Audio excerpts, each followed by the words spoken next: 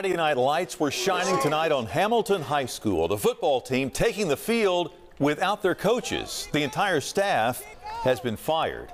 Hello, I'm Greg Hurst. Hi, I'm Stephanie Scurlock. Tonight we're talking with those coaches. WREG's Brian Ditlake is here live with us to explain. Brian, what are those coaches saying? Well, Stephanie, Greg, right now these coaches say it's all about safety and taking care of their players. These coaches realize they're also mentors and losing the team before they can even finish the season hurts.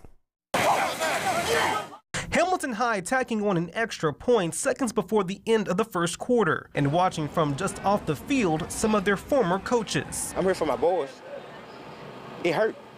Like, I didn't shed the tears, real tears over this. I had to beg several players out there right now to play today. Marlon Beckett, just one of the nine coaches fired after an incident in last week's game when Hamilton took on Sheffield. My athletic director at the time was, I guess, going through some. Came in the game upset Friday.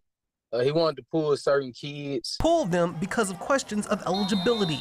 Former head coach Jarrell Blanchard could not attend tonight's game. He says the encounter on the field centered on the athletic director, Alfred Burkett, who claimed a player was ineligible to play.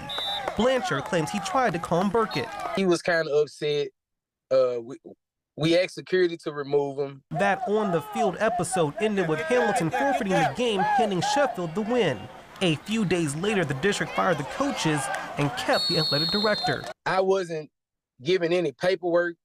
I wasn't even getting a courtesy call from the principal saying, well, Coach Blanchard, we'll have to let you go due to the fact that this, this, and that. And this wasn't the first time the coaches have lost their jobs. We've been coaching on pins and needles since June. We were fired in June. Beckett says they were rehired right before the Jamboree back in August. We reached out to the TSSAA about the situation. They say they have been in communication with both schools and decisions regarding the coaching staff would have nothing to do with them. These 30 kids that's out there on that field right now, they made me a better man. These nine men that got fired, they made me a better man. But through it all, we still gonna be champions and we gonna win.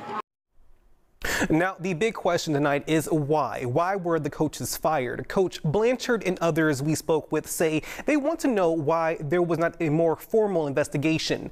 We've reached out to Memphis, Memphis Shelby County Schools for comment, but at this time have not heard back. We're live in the studio. Brian Ditlake, WREG, Channel 3. All right, sounds like there's more to figure out. We'll try to get to the bottom of it. Brian.